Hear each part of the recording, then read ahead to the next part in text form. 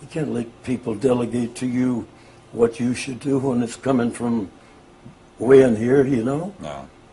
And somebody comes up in your face with something, tells you what you ought to do, then uh, you can you can take them at their word, or you can uh, or you can just turn your back. You know, I wouldn't uh, I wouldn't let anybody influence me into thinking I was doing the wrong thing by singing about death, hell, and drugs, No. because I've always done that, and I always will.